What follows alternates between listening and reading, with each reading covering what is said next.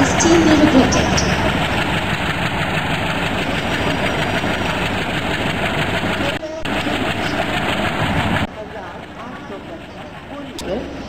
Allahabad Kanpur Central के रास्ते पुरी से आने वाली अपने निर्धारित समय